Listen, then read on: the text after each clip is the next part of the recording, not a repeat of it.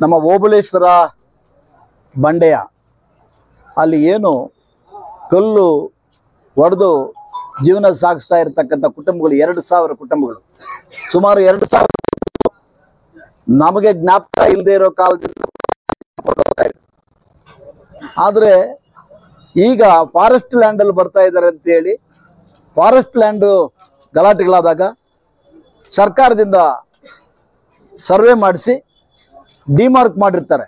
ಯಾವುದು ಫಾರೆಸ್ಟ್ ಬರುತ್ತೆ ಯಾವ್ದು ಫಾರೆಸ್ಟ್ ಕೆಲವರು ಈ ಬಂಡೆ ಕೆಲಸ ಮಾಡ್ತಾ ಇದ್ರೆ ನಮ್ಮ ಮುಲ್ಬಾಲ್ ತಾಲೂಕಿನ ಆರ್ ಎಫ್ ಶ್ರೀಮತಿ ಜ್ಯೋತಿ ಅವ್ರು ಹೋಗ್ಬಿಟ್ಟು ಶ್ರೀಮತಿ ಇಲ್ವಾ? ಸಾರಿ ಇಲ್ಲ ನನಗೆ I don't I don't know Kumari. Kumari. Jyothi ಅವರು ಇರ್ಲಿ ಬಿಡಿ. ಜ್ಯೋತಿ ಅವರು ನೆನ್ನೆ ಹೋಗಿ ಅಲ್ಲಿ ನಮ್ಮ ಏನು ಅಲ್ಲಿ ಬಂಡೆ ಹೊಡಿತಾ ಇದ್ದಾರೋ ಅಲ್ಲಿ ಗಲಾಟೆ ಮಾಡಿ ಟ್ರಾಕ್ಟರ್ಗಳೆಲ್ಲ ನಿಲ್ಲಿಸಿದ್ದಾರೆ ತಕ್ಷಣ ಅಲ್ಲಿ ನಮ್ಮ ಗ್ರಾಮಾಂತರ ಪೊಲೀಸ್ ಸಬ್ ಇನ್ಸ್ಪೆಕ್ಟರ್ ವಿಠಲ್ ಅವರೆಲ್ಲ ಹೋಗಿ ಪರಿಶೀಲನೆ ಮಾಡಿದ್ದಾರೆ. ನಾವು ಆ ಜಾಗಕ್ಕೆ ಹೋಗಿದ್ವು. ಆಮೇಲೆ ನಾವು ಆ ಜಾಗಕ್ಕೆ ಹೋಗಿ ಪರಿಶೀಲನೆ ಮಾಡಬೇಕು ಅಂತಂದಾಗ ಸಬ್ ಇನ್ಸ್ಪೆಕ್ಟರ್ ಹೇಳಿದ್ರು, ಇಲ್ಲ, ಏನು ಡಿಮಾರ್ಕ್ ಆಗಿದೆ, ಅದಕ್ಕಿಂತ ಐವತ್ತು ಮೀಟರ್ದು ಆಚೆ ಬಂದು ಹೊಡ್ಕೊಳ್ತಾ ಇದ್ದಾರೆ, ಅವ್ರದ್ದೇನು ಪ್ರಾಬ್ಲಮ್ ಇಲ್ಲ, ಅವ್ರದ್ದು ಇದು, ಫಾರೆಸ್ಟ್ ದಲ್ಲ ಅಂತೇಳಿ ಅವ್ರು ಕ್ಲಿಯರ್ ಆಗಿ ಮಾಡಿದ್ರು. ಆವಾಗ ನಮ್ಮ ಸರ್ಕಲ್ ಇನ್ಸ್ಪೆಕ್ಟರ್ ಇವರೆಲ್ಲ ಕೂಡ, ಸರಿ, ಆಯ್ತು ವ್ಯಾನ್ಗಳನ್ನ ಪೊಲೀಸ್ ಸ್ಟೇಷನ್ ಹತ್ರ ಕಳಿಸಿ ಅಂತೇಳಿ ಏನು ಡಾಕ್ಟರ್ಸ್ ಇದಾವ? ಡಾಕ್ಟರ್ಸ್ನೆಲ್ಲ ಕೂಡ ಪೊಲೀಸ್ ಸ್ಟೇಷನ್ ಹತ್ರ ಕಳಿಸಿದ್ದಾರೆ. ಎಲ್ಲ ಬಂದ್ಬಿಟ್ರು. ಬಂದ್ಬಿಟ್ಟು ಆದ್ಮೇಲೆ ಸರ್ಕಲ್ ಇನ್ಸ್ಪೆಕ್ಟರ್ ಪರಿಶೀಲನೆ ಮಾಡಿ, ಅದು ಹೋಗಿಲ್ಲ ಅಂತೇಳಿ ಆ ಫಾರೆಸ್ಟ್ ಏರಿಯಾದಾಗ ಹೋಗಿಲ್ಲ ಅಂತೇಳಿ ಅವ್ರನ್ನೆಲ್ಲ ಬಿಟ್ಟು ಕಳಿಸಿದ್ದಾರೆ.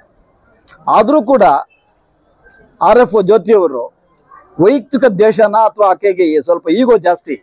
ನಾನು ಅನ್ನೋ ಒಂದು ಬಹಳ ಈಗೋ ಇದೆ. ಆ ಈಗೋ ಇಟ್ಕೊಂಡು ಯಾರು ಕಷ್ಟಪಡ್ತಾ ಇದ್ದಾರೋ ಆ ರೈತರ ಮೇಲೆ ನೆನೆ ಎಫ್ ಐ ಆರ್ ಅನ್ನು ಹಾಕ್ಸಿದ್ದಾರೆ. ಇದು ಯಾಕಂತಂದ್ರೆ ಇಲ್ಲಿ ಅಲ್ಲಿ ಎರಡ್ ಸಾವಿರ ಕುಟುಂಬಗಳು ಕೆಲಸ ಮಾಡ್ತಾ ಇರೋದಂದ್ರೆ ಏನಾದ್ರು ಕೆಲವರು ಅನ್ಕೋಬಹುದು ಬರೀ ಬೋವಿಗಳತ್ತ, ಬರೀ ಬೋವಿಗಳಲ್ಲ. ಒಕ್ಕಲಿಗರಿಂದ ಹಿಡಿದು, ಮುಸಲ್ಮಾನರಿಂದ ಹಿಡಿದು ಎಲ್ಲ ಜನಾಂಗದವರು, ಎಲ್ಲ ಜಾತಿಯವರು ಕೂಡ ಅಲ್ಲಿ ಕೆಲಸ ಮಾಡ್ತಾ ಇದ್ದಾರೆ. ಎರಡು ಸಾವಿರ ಕುಟುಂಬಗಳು ಸುಮಾರು ಅರವತ್ತೆಪ್ಪತ್ತು ವರ್ಷಗಳಿಂದ ಕಾಮಗಾರಿಯನ್ನ ಮಾಡ್ಕೊಂಡು ಬರ್ತಾ ಇದ್ದಾರೆ. ಅವ್ರು ಇವಾಗ ಬೀದಿ ಪಾಲಾಗ್ತಾ ಇದ್ದಾರೆ. ಅವ್ರಿಗೆ ಒಂದು ಏನೋ ಜೀವನ ಮಾಡ್ಕೊಳ್ಳೋದಕ್ಕೆ ಹೊಡ್ಕೊಂಡಿರೋದು ಏನು ಫಾರೆಸ್ಟ್ ಏರಿಯಾದಲ್ಲ ಬೇಕಂತ ಎಫ್ ಐ ಆರ್ ಹಾಕ್ಸಿರೋದ್ರಿಂದ ಈಗ ಏನು ಈ ಶ್ರಮಜೀವಿಗಳಿದ್ದಾರೋ? ನಿಜವಾಗ್ಲೂ ಇವತ್ತು ನಾನೊಬ್ಬ ಬ್ಲಾಕ್ ಕಾಂಗ್ರೆಸ್ ಅಧ್ಯಕ್ಷನಾಗಿ ಈ ಒಂದು ಇದರಲ್ಲಿ ಭಾಗವಹಿಸಬಾರ್ದಿತ್ತು ಯಾಕಂದ್ರೆ ನಮ್ಮದೇ ಸರ್ಕಾರ ಇರೋದ್ರಿಂದ. ಆದ್ರೆ ನಿಜವಾಗ್ಲೂ ನಾನು ಹೇಳ್ತಾ ಇದ್ದೀನಿ, ಇಲ್ಲಿ ಕೂತಿರ್ತಕ್ಕಂಥವ್ರು, ಇಲ್ಲಿ ಬಂಡೆ ಹೊಡಿತಾ ಇರ್ತಕ್ಕಂಥವ್ರು, ತಮ್ಮ ಬೆವರನ್ನು ಸುರಿಸಿ ಜೀವನ ಮಾಡುವಂತ ಜನ. ಅವ್ರಿಗೆ ನಾವು ನೈತಿಕ ಬೆಂಬಲ ಕೊಡದೇ ಇದ್ರೆ ನಾವು ಕೂತಿದ್ದೀನಿ ನಾಳೆ ಇದ್ದಾನೆ.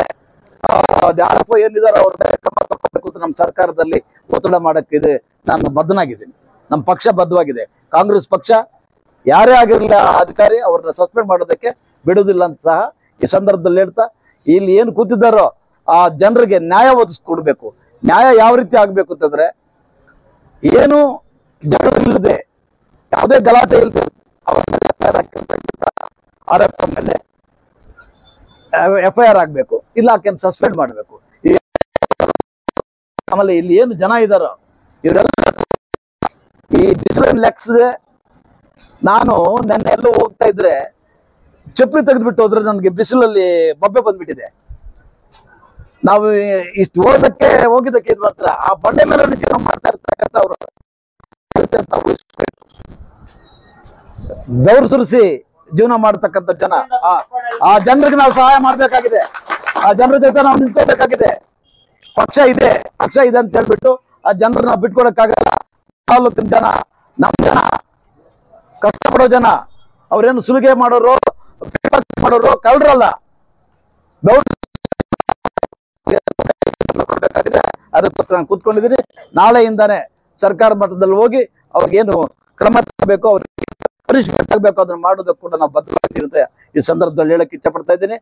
ಮತ್ತೊಂದು, ನಮ್ಮ ದಂಡಾಧಿಕಾರಿಗಳಲ್ಲಿ ಇವಾಗ ಮನವಿ ಮಾಡ್ತಾ ಇದ್ದೀವಿ. ಅವ್ರ ಮೇಲೆ ಕ್ರಮ ತಗೊಳ್ಳೋದಕ್ಕೆ ಅವ್ರು ಶಿಫಾರಸು ಮಾಡಬೇಕು. ಮತ್ತು ನಮ್ಮ ಸರ್ಕಲ್ ಇನ್ಸ್ಪೆಕ್ಟರ್ ಮತ್ತು ಸಬ್ ಇನ್ಸ್ಪೆಕ್ಟರ್ಗೆ ಒತ್ತಡ ಮಾಡ್ತಾ ಇದ್ದೀವಿ. ಏನಂತಂದ್ರೆ ಎಫ್ ಐ ಆರ್ ಹಾಕ್ಬೇಕು ಥ್ಯಾಂಕ್ ಯು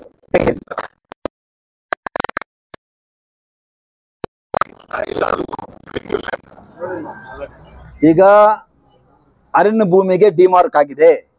ಅದರಲ್ಲಿ ಇವ್ರು ಹೋಗಿಲ್ಲ.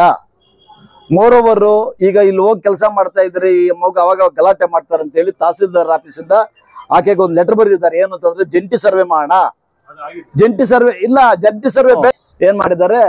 ಈ ಜಂಟಿ ಸರ್ವೆ ಮಾಡಬಾರ್ದು ಅಂತ ಹೇಳಿ ಮಾಡಿದ್ದಾರೆ ಏನು ಅಂತಂದ್ರೆ ಈ ರೈತರಿಗೆ ತೊಂದರೆ ಕೊಡೋದು ಉದ್ದೇ ಒಂದೇ ಉದ್ದೇಶ ಆಗಿದೆ.